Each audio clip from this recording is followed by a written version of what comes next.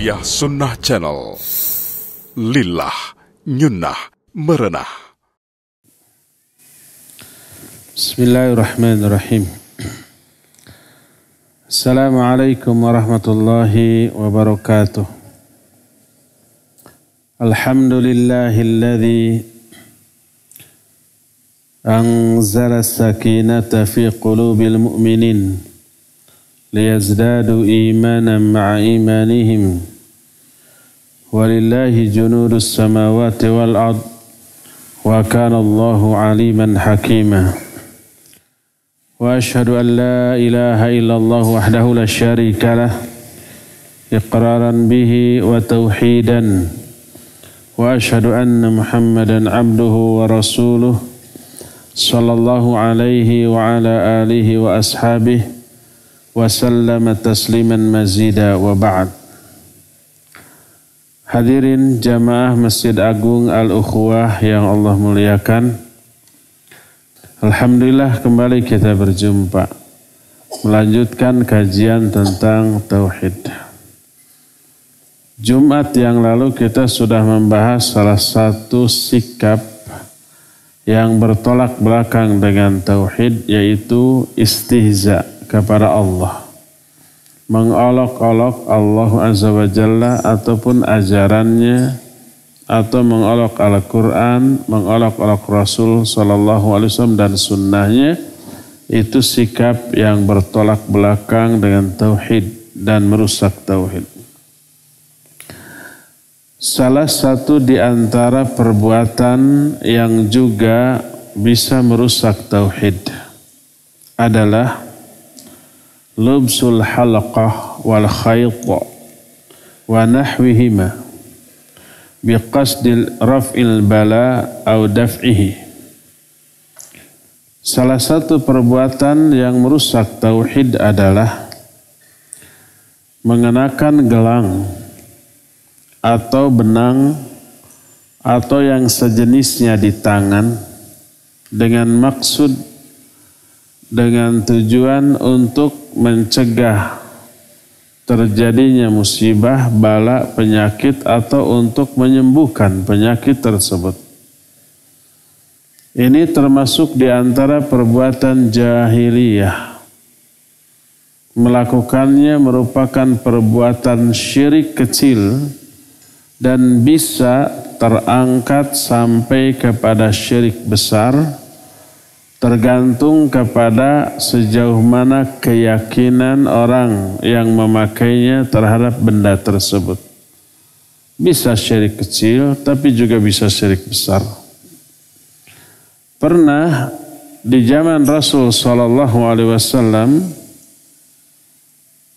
Imran bin Husain radhiyallahu an menceritakan anna Rasulullah sallallahu alaihi wa alihi wasallam ra'a rajulan fi yadi fi yadihi halqatun min sufar. Faqal ma hadha? Qal min al-wahina faqal inza'ha fa la taziduka illa wahna. Fa innaka law mitta wa hiya 'alaik ma aflahta Rawahu Ahmad bisanadin la ba'sa bihi wa sahahu Ibnu Hibban wal Hakim wa aqarrahu Dhahabi. Kata Imran bin Hussein, Rasulullah sallallahu alaihi wasallam melihat seseorang di tangannya itu ada gelang yang terbuat dari kuningan, dari logam. Kemudian beliau bertanya, ini apa? Dia menjawab ini pencegah setiap hal yang menghinakan. Agar tetap mulia. Pencegah adanya penyakit. Pencegah adanya mara bahaya, kemadaratan. Itu maksud orang itu memakai gelang di tangannya. Apa kata Nabi SAW? Cabut dia. Copot dia. Karena hal itu tidak menambah apa pun bagi kamu kecuali hanya menambahkan kehinaan bukan mencegah kehinaan tapi justru menambah kehinaan. Nggak hina gimana? Orang yang hidup mulia berakal bersandar kepada benda mati yang dia bikin sendiri. Mestinya yang dibikin, yang berkhidmat kepada yang membuat. Ini malah yang membuat, yang berkhidmat, menyandarkan diri, tawakal, percaya kepada benda yang dibuatnya. Lalu Nabi SAW bersabda, فَإِنَّكَ لَوْ مِتَّ وَهِيَ عَلَيْكَ مَا أَفْلَحْتَ أَبَدًا Seandainya kamu mati dalam keadaan si gelang itu masih ada di tanganmu, kamu tidak akan pernah berbahagia selama-lamanya. Hadis ini diriwayatkan oleh Imam Ahmad dalam kitab musnadnya dengan sanad yang la ba'sabihi. Sanadnya nggak ada celah, nggak ada cacat, nggak ada kekurangan. Disahihkan oleh Imam Ibn Hibban juga oleh Imam Al-Hakim dan Imam Az-Zahabi menyetujui pensahihan Al-Hakim tentang hal ini yang menunjukkan terlarangnya seseorang memakai jimat dalam bentuk ada gelang yang dia pakai di tangannya dengan maksud, dengan tujuan, dengan niat gelang ini bisa mencegah dari penyakit atau bisa menyembuhkan penyakit tanpa ada hubungan sebab akibat antara gelang itu dengan penyakitnya. Tidak ada alasan ilmiah yang menjelaskan hal itu. Tapi murni berdasarkan keyakinan. Ini punya khasiat, ini punya uh, kesaktian, ini punya faidah untuk menolak penyakit, menyembuhkan penyakit yang ada dan yang sejenisnya Kata Nabi SAW, itu hanya menambah kehinaan. Bukan menghindari kehinaan, tapi menambah kehinaan. Kalau kamu mati dalam keadaan gelang itu masih terlelet, terlilit di tanganmu, maka kamu tidak akan pernah berbahagia selama-lamanya. Termasuk mengaitkan sesuatu yang kemudian digantungkan di leher dan diniatkan diyakini sebagai pencegah dari musibah. Apa pun musibahnya, penyakit atau kecelakaan atau niat jahat, usaha jahat orang, kalau ada benda yang terlilit di lehernya, digantungkan di lehernya, baik itu berupa umpamanya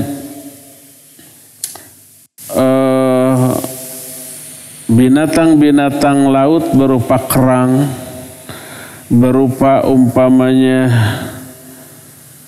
tahu kewuk ya, kewuk atau apa saja yang kemudian digantung. Kadang-kadang siung atau taring dari binatang laut, anjing laut, singa laut atau yang sejenisnya. Kemudian digantungkan di lehernya.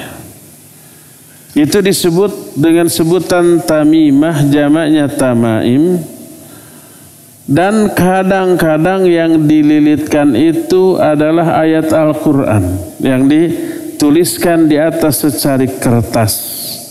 Dililitkan diplastikin kemudian dikasih benang atau tali kemudian digantungkan di mana? Di leher itu biasanya dipakaikan kepada anak-anak kecil. Kadang-kadang digantungkan juga kepada apa? Kepada leher binatang. Agar binatang itu tidak terkena penyakit. Agar anak itu juga tidak terkena penyakit. Kalau yang digantungkan itu selain Al-Quran, maka seluruh ulama sepakat tentang keharamannya. Karena adanya dalil nas yang sorih, yang jelas dan tegas dari Rasul Sallallahu Alaihi Wasallam yang seperti itu. Baik fungsinya mencegah dari kemadaratan atau untuk menarik atau menebar daya pesona kepada orang lain. Baik orang lain itu seluruh manusia tanpa pengecualian, menggantungkan benda itu agar atasan sayang kepada kita. Agar guru sayang kepada kita, dosen sayang, mau salah mau benar jawaban kita dibenerin terus. Mau salah mau benar ketika ujian dikasih A terus. Dikasih nilai tertinggi terus. Atau memikat lawan jenis. Bahasa kitanya apa? Asihan atau pelet bukan pelet pelet para belauk bukan. Tapi pelet untuk memikat hati lawan jenis agar jatuh cinta setengah mati kepada dia. Bahkan kalau perlu 100% mati cinta mati. Itu termasuk di antara jenis-jenis tamimah. Kalau benda-benda lain disepakati keharamannya Adapun kalau yang digantungkan itu adalah Al-Quranul Karim ditulis dalam secari kertas atau kalau sekarang di print atau malah lembaran mushaf Al-Quran disobek. Satu lembar digulung-gulung dibungkus dengan plastik biar tidak terkena air digantungkan. Dengan maksud mencegah dari sihir dengan maksud mencegah dari penyakit maka ulama dalam hal ini ikhtilaf. Ada yang membolehkan ada yang tidak membolehkan. Tapi warrajih adamu jawazihi. Pendapat yang kuat tidak boleh. Karena apa? Pertama saddan lidzari'ah saddan lidzari'ah itu maknanya menutup pintu-pintu keburukan karena itu kalau kalau itu dibolehkan nanti meremet dibolehkannya juga menggantungkan hal lain selain ayat Al-Qur'an. Itu pertama. Kedua, mungkin nggak ayat Al-Qur'an itu nanti terhinakan? Iya, mungkin dia nanti ke WC ya. Kemudian tidak dicopot. Ketiganya, karena tidak ada penghususan dari Nabi SAW tentang bolehnya hal itu. Tidak ada pengecualian menggantungkan benda apa pun tetap terlarang. Sebagaimana hadis yang diterima dari Abdullah bin Mas'ud radhiyallahu an. Dia berkata, "Sami'tu Rasul sallallahu alaihi wa alihi wasallam yaqul, "Innar ruqa wat tamaim wat tiwalah syirkun." Sesungguhnya ruqa. Ruqanya bukan rumah toko. Tapi jampe-jampe. Jampe-jampenya bukan diambil dari Al-Quran. Jampe-jampenya adalah diambil dari bahasa jin yang tidak terfahami. Dalam bahasa Sunda ada yang disebut dengan apa? Jangjawokan. Bahasanya tidak difahami. Tapi itu bangsa bahasa jin. Nah itu disebut mantra bahasa kita. Jampe-jampe tapi bukan diambil dari Al-Quran. Bukan diambil dari hadis yang sahih. Kata Nabi SAW sungguhnya jampe-jampe dan tamaim, jimat-jimat, watiwalah. Tiwalah ini pelet. Tiwalah ini asihan untuk memelet orang. Baik memelet lawan jenis seseorang mau ditembak tapi nolak terus ah sudah dipelet saja. Dengan ritual tertentu mantra tertentu benda tertentu. Atau memelet orang pada umumnya buka rumah makan gak peduli enak atau tidak yang penting laku kemudian dia pergi ke dukun. Akhirnya banyak konsumen kedatang ke sana memakai bantuan jin atas perantara dukun yang tadi dimintai pertolongannya. Itu termasuk bagian dari tiwalah. Kata Nabi SAW, sungguhnya jampe-jampe, jimat dan asihan syirik. Hari ini riwayat Imam Ahmad dalam kitab musnadnya, musnadnya dan juga Imam Abu Daud dalam kitab sunannya. Hadis lain dari Uqbah bin Amir radhiyallahu an secara marfu berkata Nabi alaihi salatu wasallam man 'allaqa tamimatan faqad asyraka. Siapa orang yang menggantungkan jimat apa pun bentuknya, terbuat dari apa pun dia, maka itu syirik. Dan ini umum, tidak ada pengecualian dari Nabi Shallallahu Alaihi Wasallam. Beliau tidak mengecualian kecuali dari tulisan ayat Al-Quran umpama maka tidak. Ini umum, apa pun yang digantungkannya maka itu adalah tamimah, itu adalah jimat, dan tidak boleh diyakini, tidak boleh dilakukan. Nggak boleh seorang pun menggantungkan hal tersebut. Hal lain yang juga bertolak belakang dengan tauhid adalah at-tabarruk bil asjar wal ahjar wal athar wal banayat yaitu tabarruk. Tabarruk itu bahasa kitanya ngalap berkah. Berkata mu'alif wa tabarruk maknahu talabul barokah wa raja'uha wa itiqaduha fitil kalasya. Tabarruk adalah ngalap barokah, mengharapkan barokah dan meyakini adanya barokah di benda tersebut. Tabarruk kepada pohon. Tabarruk kepada batu-batu. Tabarruk kepada bekas-bekas peninggalan orang-orang zaman dahulu. Termasuk tabarruk kepada kuburan siapa pun kuburan tersebut. Berkata Syekh Al-Fauzan, wa hukmuhu annahu syirkun akbar. Hukum Bertabaruk kepada benda-benda tadi hukumnya syirik besar. Kenapa? Li'annahu ta'allukun ala ghairillahi subhanahu wa ta'ala fi husulil barakah. Karena perbuatan itu berarti mengaitkan diri kepada selain Allah dalam meraih barokah. Wa ubadul awthan Innama kanu yatlubun barakah minha.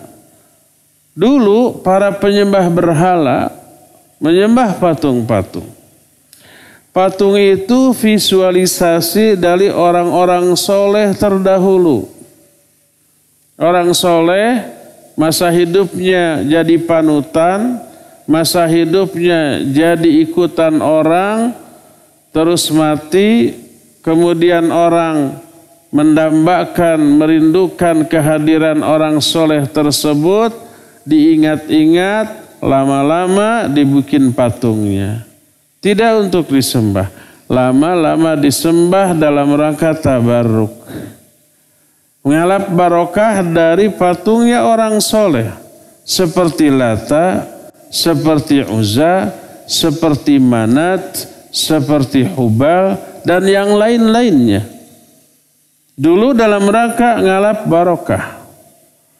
Termasuk fattabarruk bi kuburis solihin kattabarruk billata. Bertabaruk kepada kuburan orang soleh sama dengan tabaruk kepada lata. Lata itu dulu orang soleh. Dikubur, kuburannya dijadikan tempat ibadah. Dengan niat apa? Tabarruk kepada orang soleh yang dikuburkan di sana dalam rangka supaya lebih mendekatkan diri kepada Allah melalui orang soleh ini dengan sedekat-dekatnya. Makanya pas ditegur mereka berkata la na'buduhu illa liyuqarribuna ilallahi zulfa. Kami tidaklah menyembah beribadah kepada kuburan ini kecuali untuk lebih mendekatkan diri kami kepada Allah dengan sedekat-dekatnya. Itulah dalih orang-orang musyrikin saat itu ketika diberi apa? Diberikan peringatan tentang tidak bolehnya hal itu. Jadi tabaruk kepada kuburan orang soleh sama dengan tabaruk kepada lata. Karena lata juga kuburan orang soleh. Tabarruk kepada pohon batu sama dengan tabarruk kepada Uzza dan Manat dan juga Hubal. Hubal berupa pohon, ya. Sebuah hadis dari Abu Waqid Al-Laitsi radhiyallahu an. Dia berkata, "Kharajna ma'a Rasulillah sallallahu alaihi wasallam ila Hunain."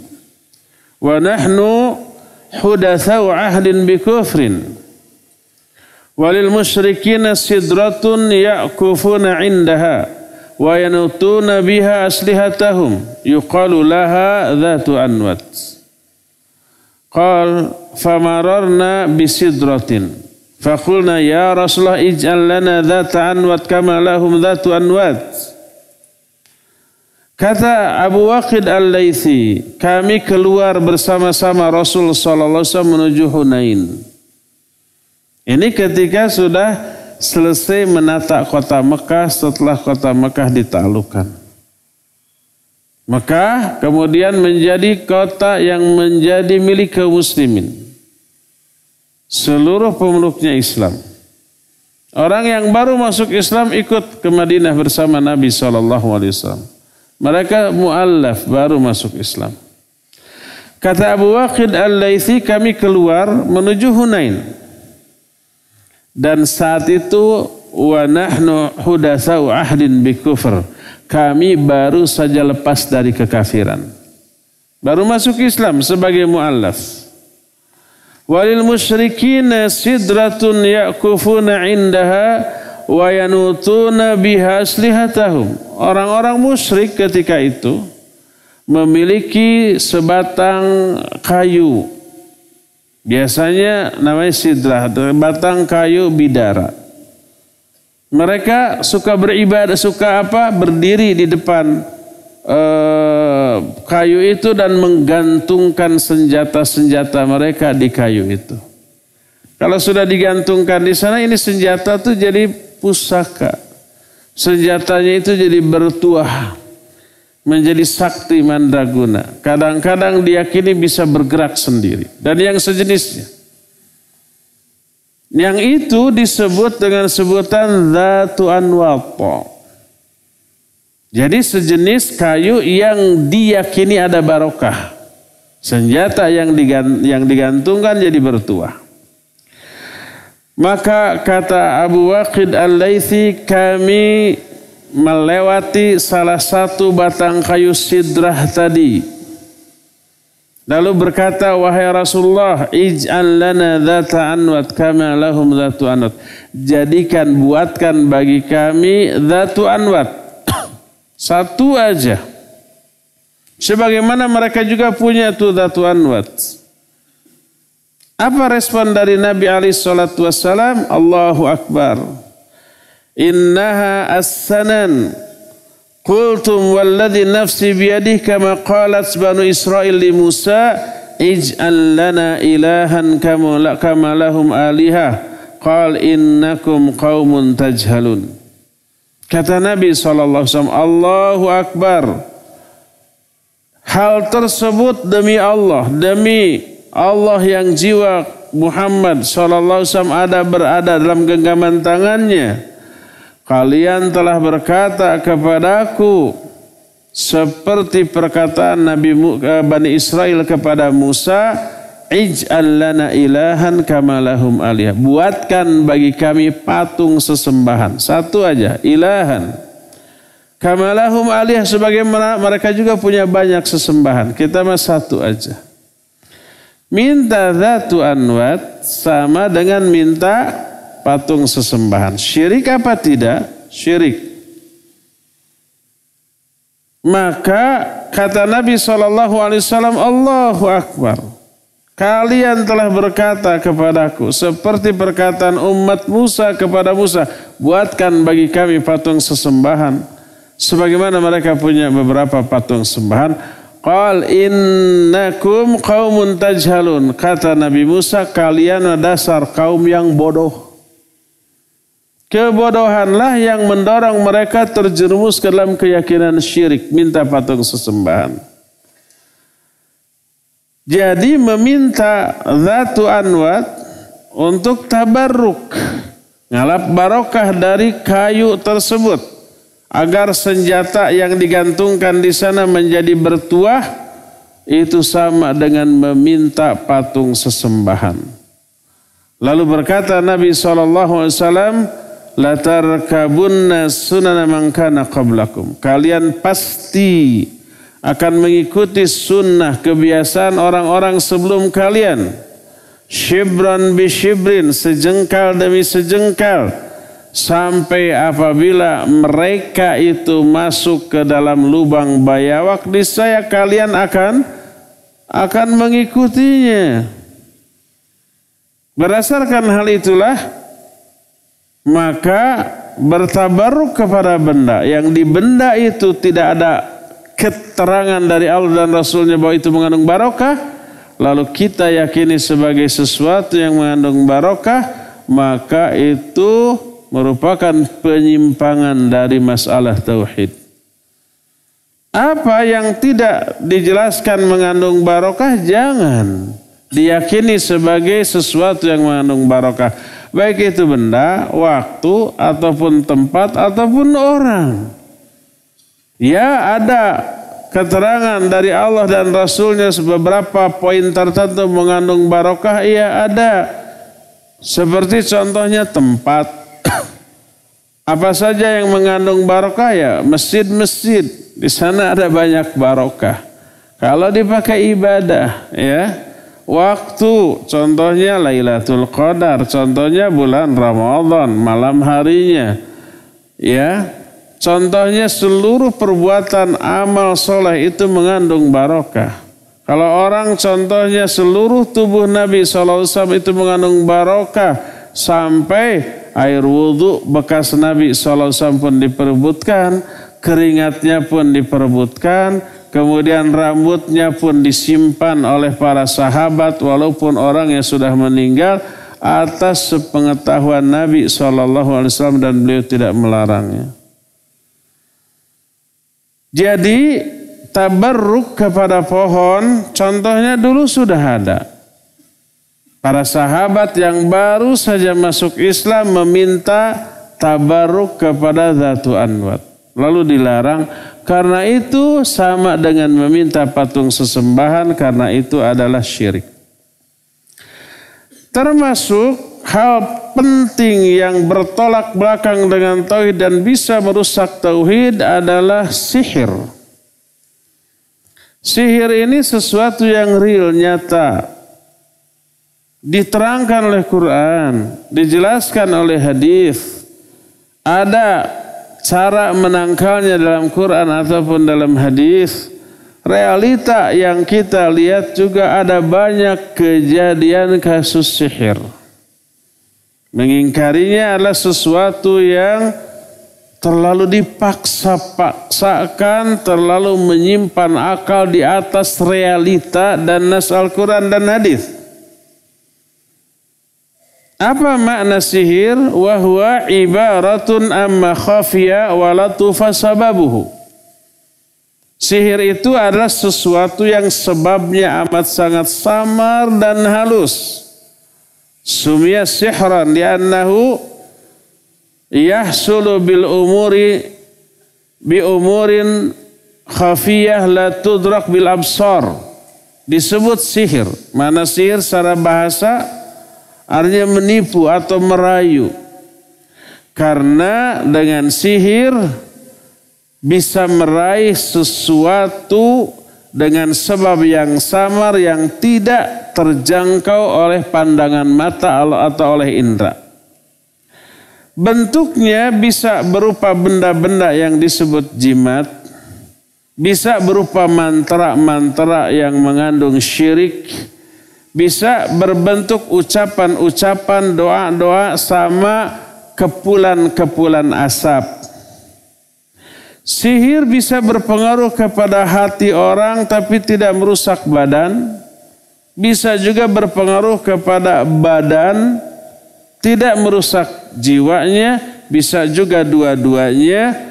Bisa menyebabkan korbannya sakit bahkan terbunuh, bisa menyebabkan antar suami dan istri yang saling mencintai menjadi saling membenci dan kemudian bercerai.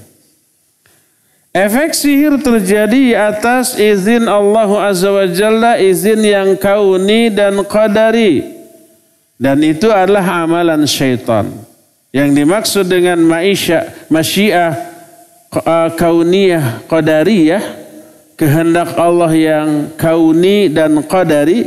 Kauni itu artinya alami. Qadari itu artinya yang memang sudah ditakdirkan oleh Allah Azza wa Jalla. Siapa pun orangnya, baik soleh atau salah, laki atau perempuan, ahli ibadah atau yang abai terhadap ibadah, bisa disakiti nggak orang itu? Bisa. Disakiti oleh orang, oleh sesama manusia. Disakiti oleh benda. Seorang nabi kalau dilukai dengan pedang, berdarah apa tidak? Berdarah. Terluka apa tidak? Terluka. Sakit apa tidak? Sakit. Siapa pun pelakunya, orang atau umpamai binatang, kalau digigit binatang yang suka menggigit ya sakit. Dan ini tidak ada hubungannya dengan kemaksuman Nabi Shallallahu Alaihi Wasallam. Masa Nabi kan maksum, tapi dilukai oleh pedang berdarah. Tidak ada hubungan antara maksum dengan aspek kemanusiaan beliau sebagai Nabi, sebagai manusia biasa.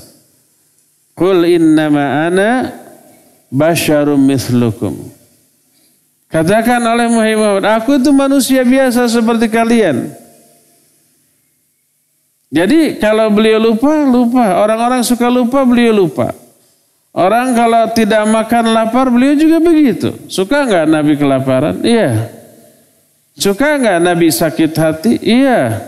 Suka nggak Nabi bersedih? Iya. Ketika anaknya Ibrahim meninggal, beliau menangis. Suka nggak beliau berdarah ketika perang? Iya, ketika perang Uhud beliau berdarah sampai empat gigi depannya tanggal. Tidak ada hubungan dengan kemaksuman, termasuk bila yang menyakiti mengganggunya ini adalah seorang jin, bukan seorang sejin. Karena bukan orang. Setan dari bangsa jin. Orang bisa melukai Nabi SAW, iya. Jin bisa melukai Nabi SAW? Iya. Itu sesuatu yang manusiawi, salah satunya melalui media sihir. Makanya hadis riwayat Imam Bukhari dalam kitab sahihnya ya Nabi SAW pernah terkena sihir. Dan ini tidak ada kaitannya dengan kemaksuman beliau. Kemaksuman beliau hanya dalam perkara yang berkaitan dengan penyampaian risalah, penyampaian dakwah. Itu beliau nggak salah dalam hal itu. Nah jadi disebutkan wahwa amalun syaitaniyun. Ini adalah amalan setan. Wa kathiru minhu la yutawassalu ilaihi illa bisyirk. Wa taqarrub ilal arwahil khabithah bisyai'in mimma tuhib. Dan kebanyakan sihir ini tidak bisa berhasil diperoleh kecuali dengan cara-cara yang mengandung syirik. Dengan bertakarub kepada setan dari kalangan bangsa jin. Melakukan sesuatu yang disyaratkan oleh setan yang mereka cintai.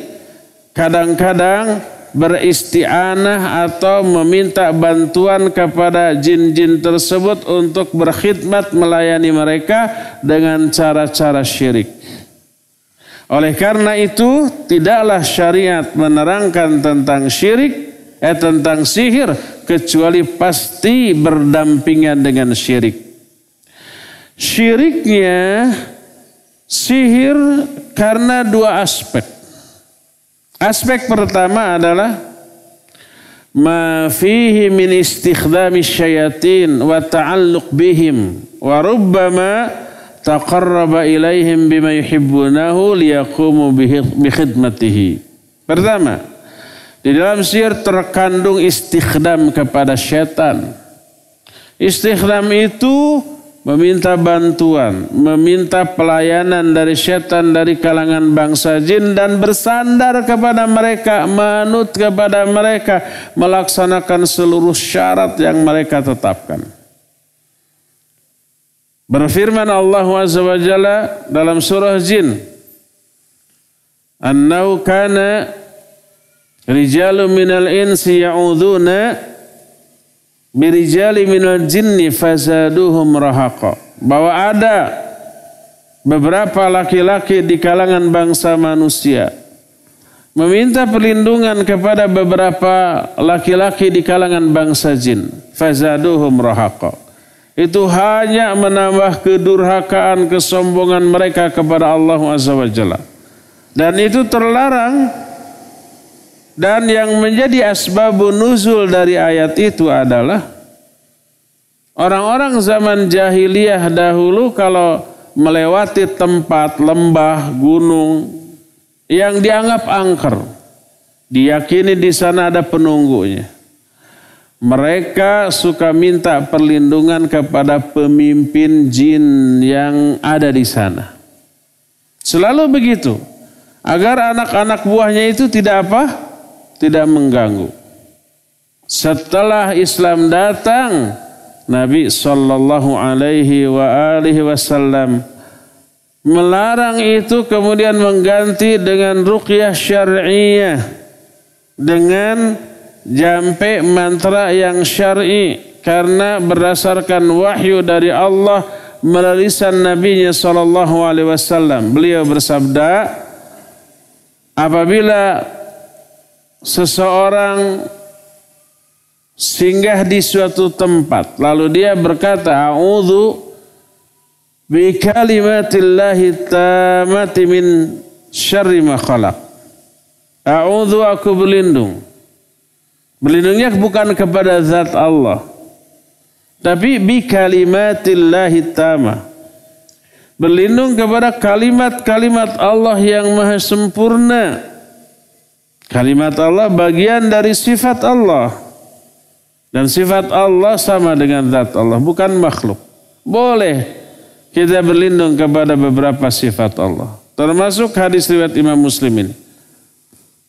Jadi siapa orang yang singgah di satu tempat Lalu dia berkata, "A'udzu bi kalimatillahi tamah min syarri ma Aku berlindung kepada kalimat-kalimat Allah yang maha sempurna dari kejahatan seluruh makhluknya lam yadurhu syai'un maka orang itu tidak akan dimadaratkan oleh sesuatu pun sampai dia pergi lagi dari tempat itu.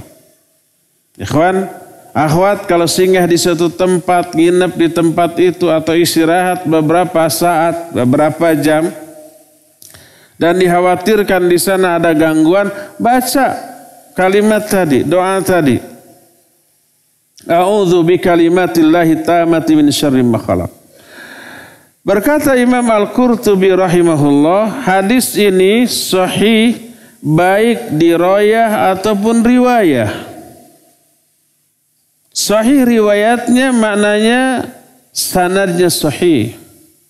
Diroyahnya sahih atau benar maknanya isi kandungannya benar. Bahwa orang yang meminta perlindungan kepada Allah dari seluruh kejahatan makhluknya. A'udzu bi kalimatillahi tamati min syarri ma Itu tidak akan dimadaratkan oleh sesuatu pun. Lalu beliau menceritakan satu pengalaman. Ke mana pun aku pergi dan di mana pun aku singgah atau sekedar lihat aku baca ini dan tidak pernah ada kejadian apa pun. Suatu saat aku singgah di suatu tempat, tiba-tiba aku digigit oleh binatang berbisa.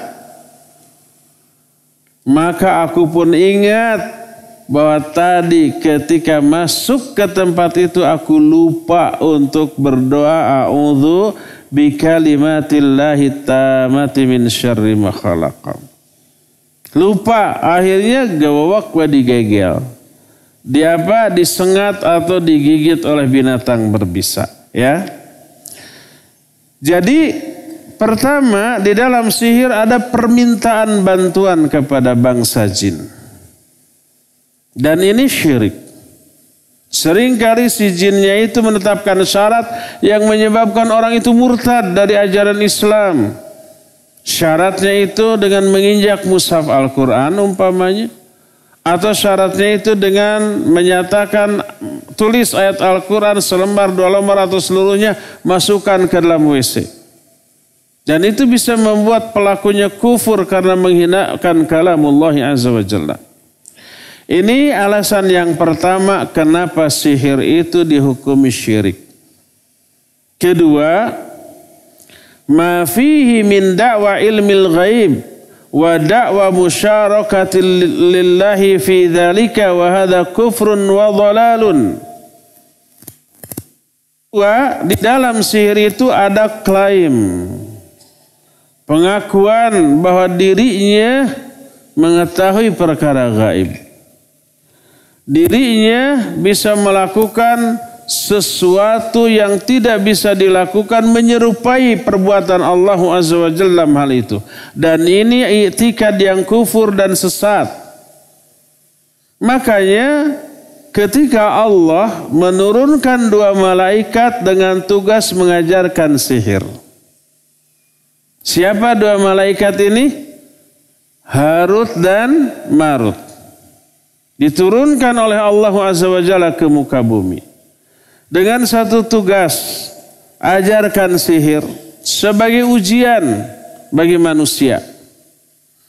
Tapi setiap manusia yang datang untuk belajar sihir wajib diingatkan. Innama nahnu fitnatun fala takfur. Kami ini hanya ujian bagi kalian. Jangan kalian kufur dengan mempelajari sihir ini. Selalu begitu. Itu tugas dari Allah Azza wa Jalla. Apakah Harut dan Marut itu durhaka karena mengajarkan sihir yang syirik dan kufur? Tidak, karena diperintahkan oleh Allah Subhanahu wa taala. Setiap yang datang ingatkan innama nahnu fitnah fala takfur wala takfur. Kami hanya fitnah, jangan kamu kufur dengan belajar sihir. Tapi kalau ada orang ngeyel, kekeh, ingin belajar sihir, ajarkan dengan konsekuensi yang sudah diterangkan.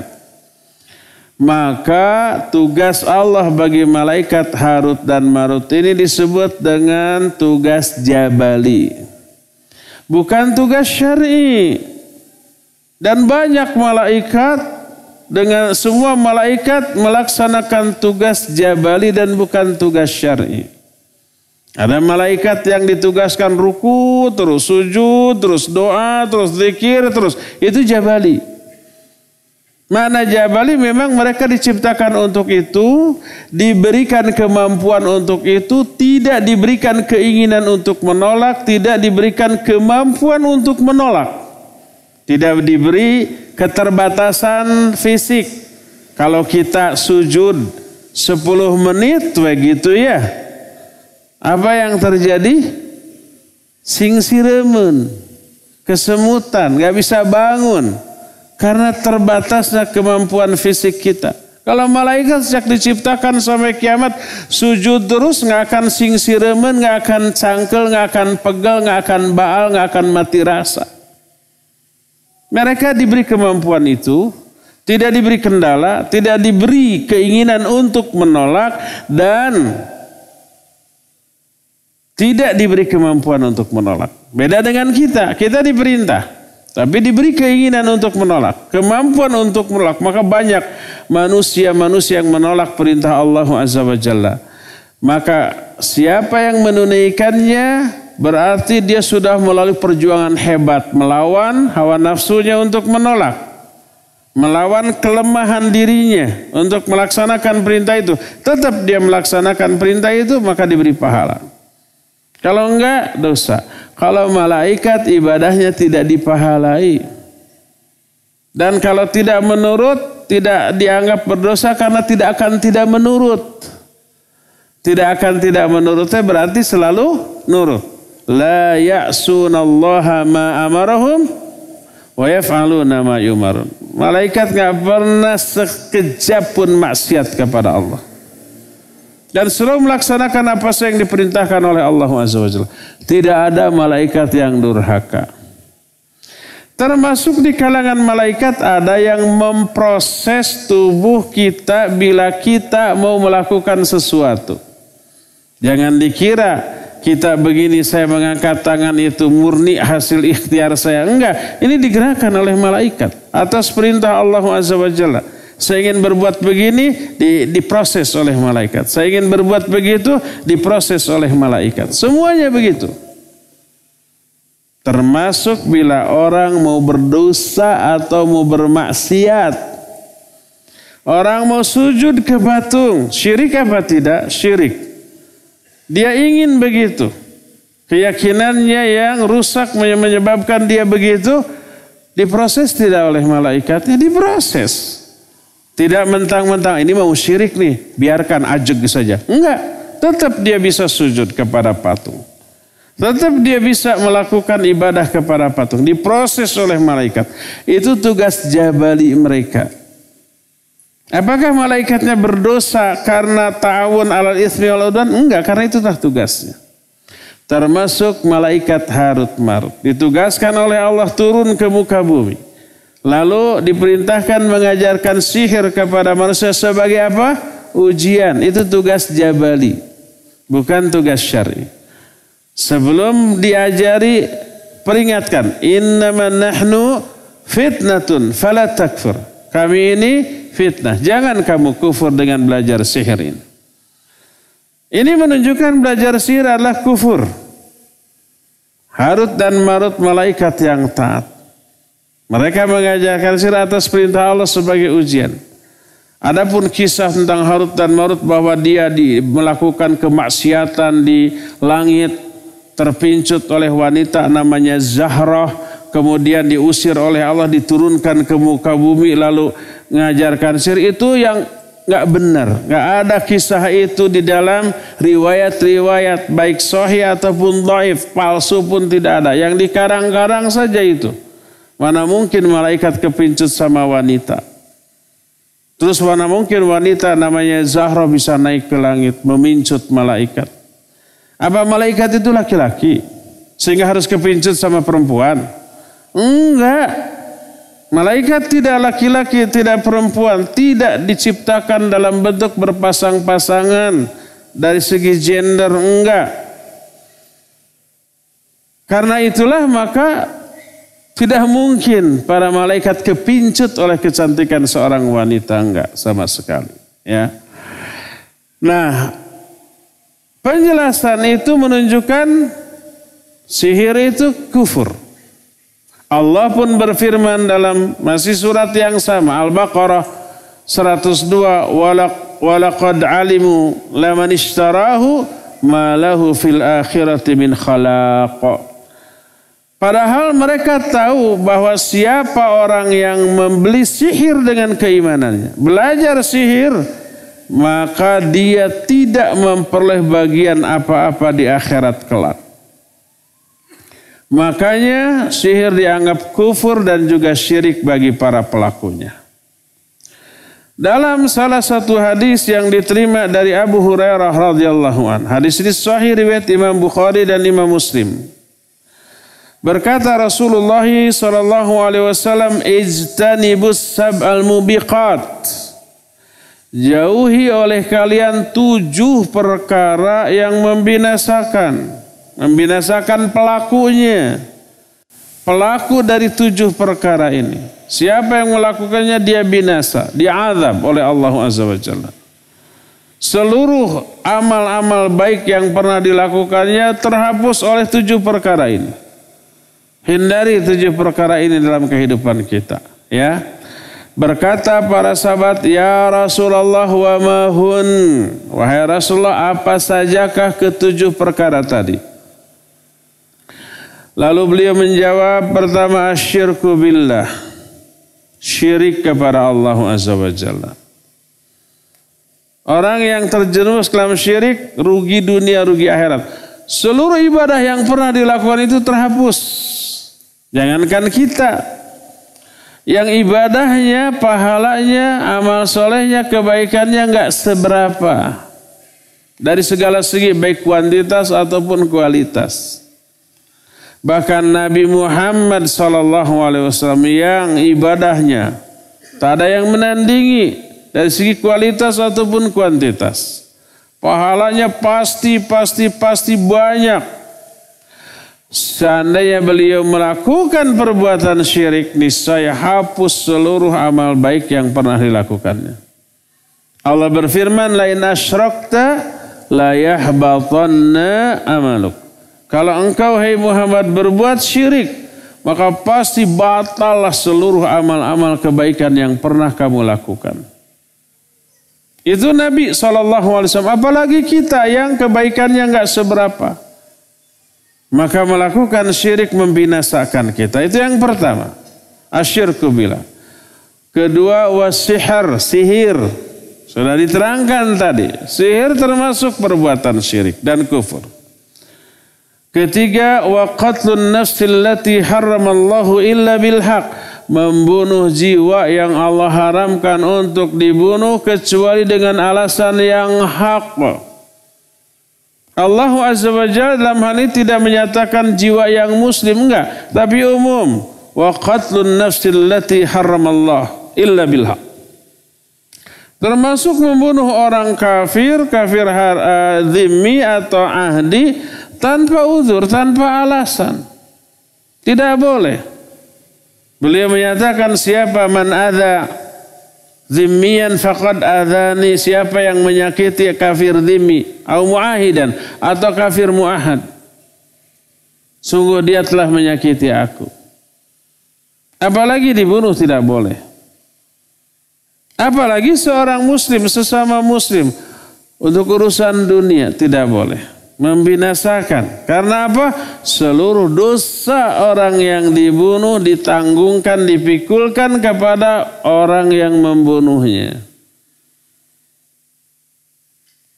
Dosa membunuhnya itu sendiri sudah luar biasa besar ditambah dosa orang yang dibunuh yang menjadi korban pembunuhan dia ditimpakan kepada yang membunuhnya nanti. Illa bil kecuali dengan alasan yang benar. La yahillu damu mri'im bi illa bi ihdath thalath. Hadis sahih riwayat Imam Muslim.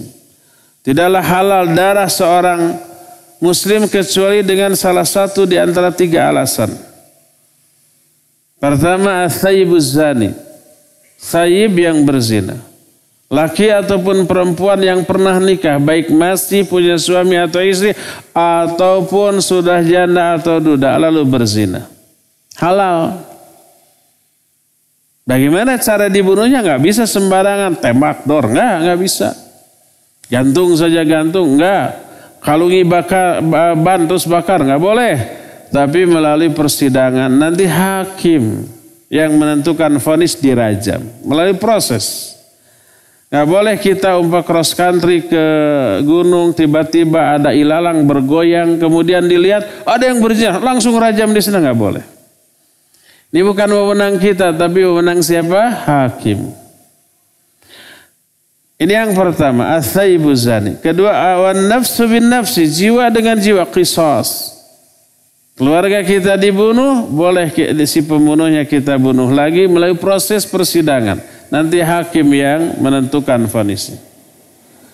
Ketiga adalah al-mufariqul jama' at-tariqul dinihi al-mufariqul jama' orang yang meninggalkan agamanya. Murtad atau yang memisahkan diri dari jamaah. Yang dimaksud memisahkan diri dari jamaah bukan jamaah sempalan. Bentuk beberapa orang berbuat jamaah angkat pemimpin bayat jamaah. Anggotanya 10 orang. Keluar bunuh. Bukan itu bukan jamaah tapi itu firqah yang dimaksud jamaah di sini adalah jamaah kaum muslimin secara keseluruhan memisahkan diri dari jamaah artinya murtad keluar dari Islam makanya at-tariku di lidinihi meninggalkan agamanya al-mufarikul jamaah al-mufarikul jamaah itu badal dari at-tarikul dini. Mananya sama. Meninggalkan agama alias murtad, memisahkan diri dari jamaah, mananya murtad keluar dari komunitas kaum muslimin karena beda akidah, beda agama, beda keyakinan. Man baddala dinahu faqtulu. Siapa yang mengganti agamanya bunuh dia. Itu alasan-alasan yang benar untuk menghalalkan darah seseorang. Tapi kalau tidak ada alasan tidak boleh dibunuh. Hanya karena dendam pribadi. Itu yang ketiga yang juga minasakan. Keempat wa aklur riba. Nah, kalau ini mungkin kalau satu dua tiga mungkin kita tidak akan melakukan syirik tidak, terus sihir tidak, terus membunuh juga tidak gitu ya. Keempat, ini mungkin masih ada, masih banyak makan harta riba. Bukan berarti kita menjadi rentenir, enggak. Tapi kita nabung di bank, dapat apa? Ribanya, bunganya. Cukup deposito saja 10 miliar. Setiap bulan makan apanya saja? Bunganya saja. Cukup apa tidak hidup sebulan dengan bunga deposito 10 miliar? Lebih kayaknya, saya nggak tahu tuh berapa bunganya setiap bulan. Yang yang jelas mah puluhan jutanya. Kalau 10 miliar. Kelimanya wa aklu malil yatim memakan harta anak-anak yatim. Keenamnya wa tawalla yaumaz zuhaf berpaling kabur dari medan perang. Ya boleh kabur dari medan perang. Dosa besar. Allah Azza wa Jalla berfirman, "Ya ayyuhalladzina amanu, idza laqitumul ladzina kafaru zahfan fala tuwalluhumul adbar." Hei orang-orang yang beriman, kalau kamu sudah berhadap-hadapan dengan musuh di medan perang, fala tuwalluhumul adbar. Jangan kamu lari kabur ke belakang, kalau melari dari medan perang nggak boleh. Ini Al-Qur'an. Melakukannya dosa besar. Lalu Allah Rasul SAW menyatakan di antara tujuh perkara yang binasakanlah lari dari medan perang. Ketujuh wa qadful muhsanatil ghafilatil mu'minat menuduh orang-orang mukmin yang baik-baik. Orang-orang mukminat yang menjaga diri dari perbuatan bejat, perbuatan fasya ataupun mungkar dituduh sebagai perempuan-perempuan nakal perempuan-perempuan pezina umpamanya. Si penuduhnya itu terkena dosa yang sangat besar. Ini tujuh perkara yang membinasakan. Pertama adalah syirik, yang kedua sihir. Dan urutan ini menunjukkan kadar dosa, kadar besarnya dosa berdasarkan urutan ini. Yang pertama adalah syirik. Itu dosa terbesar. Kedua sihir. Karena di dalamnya mengandung unsur syirik juga. Berdasarkan hal itu maka mempelajari syirik.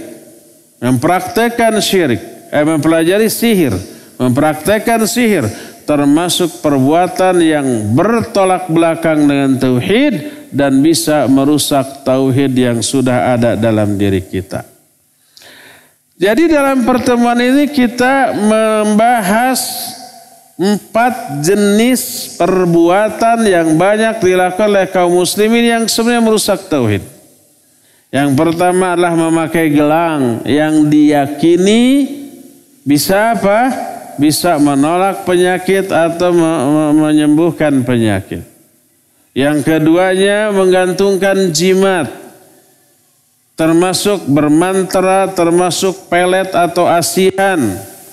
Yang ketiganya tabarruk kepada benda-benda tertentu yang Allah dan Rasulnya tidak menetapkan adanya barokah dalam hal itu. Kecuali kalau ada keterangan benda itu mengandung barokah silakan. Seperti contohnya zam-zam, ya itu mengandung barokah. Kata Nabi SAW, ma'u zamzam lima syuribalahu. Bahwa air zam-zam itu berhasiat sesuai dengan niat ketika meminumnya. Ketika minum niatkan dengan niat-niat yang baik lalu minumlah. Jangan lupa basmalahnya. Jangan lupa memakai tangan kanannya. Itunya yang wajib. Basmalah wajib, tangan kanan wajib. Berdoa nama sunnah. Jangan sampai saking ingin doanya lupa dua hal ini. Ya tidak bismillah ya pakai tangan kiri. Eh itu mah namanya merojulang ngalepaskan pesing. Memburu sesuatu yang sunnah tapi meninggalkan sesuatu yang wajib. Salah kaprah. Dia berdosa. Yang sunnahnya pahalanya tak sebesar yang wajib di, dilakukan, yang wajibnya, yang pahalanya besar dan dosa bila ditinggalkan malah ditinggalkan. Ya, kata beliau ma'uz zamzam lima syuribalahu. Air zam-zam berhasiat sesuai dengan niat ketika meminum. Ya ada barokah di sana silakan. Itu yang membedakan zam-zam dengan yang lain-lainnya ya. Dan yang terakhir sihir tadi. Empat perkara yang merusak tauhid yang kita jelaskan di hari ini. Pertama, memakai gelang yang diyakini bisa menghilangkan atau mencegah penyakit. Kedua, mengenakan jimat. Ketiga, tabarruk kepada benda-benda tertentu dan keempat sihir. Ya, cukup sore ini sampai di sini dan sisa waktu yang ada kita akan gunakan tanya jawab. Kepada Akhi Fawas di studio Cilengsi dipersilakan untuk memandu tanya jawab dengan pendengar dan pemirsa. Wassallallahu ala nabina Muhammadin wa ala alihi wa ashabi wassalam. Silakan Fawas. Ibu yang barusan bertanya, Barokallahu fiq. Semoga ibu sehat, e, barokah usianya ya. Pertanyaan pertama tentang orang yang terjerumus ke dalam syirik, kufur atau maksiat, kenapa oleh Allah Azza wa Jalla tidak diberi hidayah untuk taubat? Ya, pertama, Allah jauh lebih tahu siapa yang layak diberi hidayah dan siapa yang layak disesatkan. Allah berfirman, Inna rabbaka huwa a'lamu biman dhalla an sabilih wa huwa a'lamu biman ihtada. Dalam ayat lain wa huwa a'lamu bil muhtadin. Allah lebih tahu siapa orang yang layak dibiarkan sesat dan siapa yang layak diberikan hidayah. Allah lebih tahu alasannya ya. Lalu Allah merinci dalam banyak ayat juga dalam banyak hadis siapa saja orang-orang yang layak diberi hidayah dan siapa yang tidak layak. Yang layak diberi hidayah adalah orang-orang yang banyak melakukan kebaikan, ibadah dan amal soleh. Seluruh ibadah, kebaikan, amal soleh itu mengundang turunnya hidayah Allah. Dalam Al-Quran Allah banyak menerangkan contoh Allah berfirman wa qulu qawlan sadida yuslih lakum a'malakum wa yaghfir lakum dhunubakum.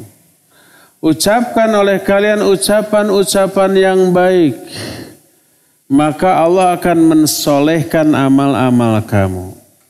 Berkata Imam Ibnu Katsir rahimahullah ketika menerangkan ayat ini ay yuwafiqkum lil a'malis solihah Allah akan beri hidayah, taufik kepada uh, kamu untuk melakukan amal soleh.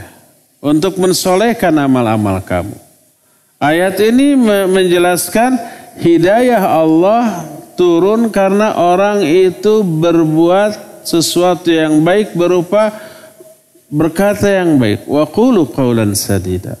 Perkataan yang baik kaulan sadida itu bisa membaca Al-Quran bisa berzikir, bisa belajar ilmu, mengajarkan ilmu, bisa juga berdakwah beramar ma'ruf nahi munkar dengan cara yang benar, ya cara yang ma'ruf. Itu semua kaulan sadida. Itu mengundang turunnya hidayah Allah. Allah menyatakan yuslih lakum a'malakum. Allah akan mensolehkan amal-amal kalian. Maknanya Allah akan memberikan hidayah kepada kalian untuk beramal soleh. Ini salah satu ayat. Hidayah turun karena balasan atas perbuatan baik orang itu sebelumnya. Hadis riwayat Bukhari dan Muslim berkata Nabi sallallahu alaihi wasallam Alaikum bisidqi fa inna sidqa yahdi ilal birri wal birra yahdi ilal jannah. Kata Nabi SAW, wajib kalian berbuat jujur karena kejujuran itu Yahdi. Yahdi itu memberi hidayah. Menuntun pelakunya kepada perbuatan bir. Bir ini ada dua maknanya. Sebagaimana diterangkan oleh Syekh Al-Uthaymin. Pertama, bir itu adalah berbuat kebaikan. Kedua, bir bisa berarti terlepas dari sebuah kebiasaan dosa. Kata Rasul Sallallahu Alaihi Wasallam, wajib kalian uh, jujur. Kejujuran itu bisa menuntun pelakunya kepada perbuatan baik. Ini menunjukkan, mengisyaratkan makna menunjukkan kepada perbuatan baik, kejujuran mengundang turunnya hidayah Allah untuk berbuat baik setelah ke, melakukan kejujuran tadi. Diberi hidayah. Sebaliknya, jadi intinya kalau hidayah Allah turun karena balasan atas kebaikan baik orang itu sebelumnya, gitulah. Sebaliknya, Allah membalas orang-orang yang berdosa dengan dan maksiat dengan cara dicabutnya hidayah itu dari diri dia. Hidayah yang sudah ada sebelumnya Allah cabut karena dia bermaksiat. Berkata Rasulullah SAW sebagai lanjutan dari hadis yang barusan, wa iyyakum wal kadhiba. Fa innal kadhiba yahdi ilal fujur wal fujura yahdi ilan nar. Jauhi oleh kalian dusta. Karena dusta itu menyeret pelakunya kepada fujur. Fujur ini ada dua maknanya. Pertama adalah al wuqu' fil ma'asi. Terjerumus ke dalam maksiat. Yang kedua al khuruj minat ta'ah keluar dari ketaatan Sebelum dia berdusta, dia nggak berani melakukan dosa ini, ini, ini, nggak berani. Kegedean itu dosanya. Eh setelah dia berdusta tiba-tiba kok nekat berani melakukan dosa-dosa yang sebelumnya tidak berani dia lakukan. Sebelum dia berdusta dia biasa memelihara tahajud, saum Senin Kamis, baca Al-Quran dan yang lain-lainnya.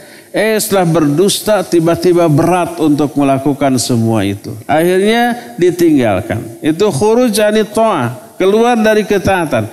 Berdusta menyebabkan tercabutnya hidayah Allah dari diri orang tersebut. Dan berdusta menyebabkan terdorongnya orang itu untuk melakukan dosa dan maksiat dalam bentuk selain dusta. Dalam bentuk yang lainnya. Walhasil kenapa Allah Azza wa Jalla memberi hidayah kepada seorang selain karena rahmat dan kasih sayangnya juga pasti ada sebab. Siapa yang layak diberi hidayah dan siapa yang layak dibiarkan sesat Allah lebih tahu dan semua sikap Allah itu penetapan Allah itu didasarkan kepada sikap adil dan hikmahnya pasti adil. Allah mengetahui lahir batinnya setiap orang. Kalau kita kan hanya mengetahui lahiriah seseorang. Allah mengetahui orang itu setiap saat, setiap detik tanpa henti. Kalau kita kan mengetahui orang hanya ketika ketemu, ketika ngobrol, ketika kita berinteraksi. Di luar itu kita tidak tahu. Maka Allah lebih tahu siapa yang layak diberi hidayah dan siapa yang tidak. Cuma Allah menerangkan salah satu penyebab orang itu tidak diberi hidayah, termasuk tidak diberi hidayah untuk tobat. Mungkin orang tersebut masih memiliki etikat syirik, etikat kufur, keyakinan bidah dan keinginan untuk bermaksiat yang menggebu-gebu dan sedikit kebaikan-kebaikan yang dia lakukan kecenderungannya kepada keburukan lebih besar daripada kepada kebaikan, orang seperti itu tidak akan diberi hidayah oleh Allah Azza wa Jalla. Wallahu a'lam bisawab. Silakan lagi Pak Was. Baik, terima kasih Ustaz Jazakallah khairan jawaban dan nasihat yang disampaikan. Untuk selanjutnya kami angkat dari pendengar melalui pesan singkat. Ada dua penanya yang berkaitan. Assalamualaikum warahmatullahi Ustaz bagaimanakah cara uh, atau eh, kiat-kiat untuk menjauhkan keluarga, terutama orang terdekat, misal suami atau istri atau orang tua dari kesyirikan, manakala mereka pun uh, ditengarai memelihara makhluk-makhluk goib uh, berupa jin di rumah dan dipercaya bahwa jin tersebut bisa melindungi dirinya dan keluarganya. Mohon nasihat dan penjelasannya jazakallahu khairan Ustaz. Iya. Barakallahu fiqh ini pertanyaan terakhir ya. Cara yang harus kita lakukan tentu saja mendakwahinya. Memberikan informasi tentang bahayanya perbuatan itu. Sampaikan ayat bahwa itu adalah perbuatan yang dilarang. Annahu kana rijalu minal insi ya'udzuuna bi rijali minal jinni fazaduhum rahaqa. Ada sebagian orang meminta perlindungan kepada sebagian jin. Itu hanya menambah kedurhakan. Sampaikan ayat itu. Surah jin ayat yang ke-6. Terus juga sampaikan kepada mereka beberapa keterangan tentang yang tadi saya ungkapkan. Kalau ada bukunya baca sampaikan. Itu yang pertama. Pokoknya dakwahi mereka. Mungkin mereka melakukan itu karena ketidaktahuan. Itu pertama. Kedua, upayakan memupuk iman mereka. Dengan cara apa? Coba ajak ke pengajian. Kalau memungkinkan, yuk ikut ke pengajian. Nilai sendiri apa yang diterangkan guru saya nanti di pengajian. Semoga mereka mau dan setelah itu ketagihan. Memperoleh hidayah dari Allah dan terus menerus ingin hadir ke pengajian. Kalau enggak, setel aja radio di rumah. Biar mereka juga dengar. Kalau di radio itu sedang membahas masalah fikih padahal dia masalah tauhid, Coba diputar ulang ada di YouTube, ya ada di media-media sosial. Pilih materi tentang hal itu, perdengarkan kepada mereka. Dan seterusnya, pokoknya sampaikan dakwah kepada mereka. Sampaikan ajakan kepada mereka dan pupuk iman mereka untuk uh, terupgrade sehingga nanti karena imannya itu mereka berhenti sendiri karena takutnya terhadap azab karena berbuat syirik. Kadang orang tahu iya ini syirik tapi nggak apa-apalah. Yang penting di dunia ini happy. Kadang-kadang ada orang yang nekat seperti itu. Karena kurangnya iman. Coba pupuk iman. Ya. Keempat, jangan lupa mendoakan mereka agar Allah membuka pintu hati mereka dan menurunkan hidayahnya kepada mereka maka insya Allah itu sangat membantu.